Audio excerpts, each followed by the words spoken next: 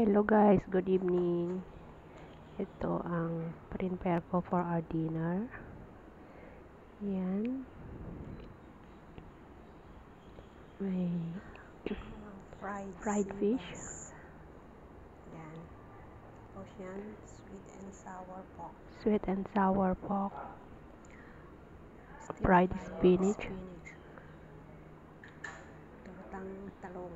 Tortang talong. Yan lang guys, simple Ang lang. dinner namin guys, simple lang. Yan, yung fried fish na may sauce. Yan guys. Yummy. Yan, yummy yummy. Yan. Simple lang ang ulam namin guys. Yan lang. So, ayan guys. so